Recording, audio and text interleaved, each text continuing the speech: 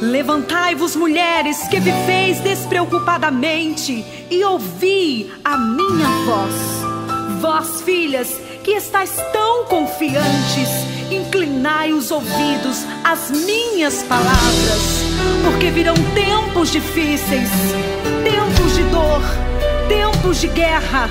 Levantai-vos, levantai-vos, levantai-vos, até que se derrame sobre vós o Espírito lá do alto.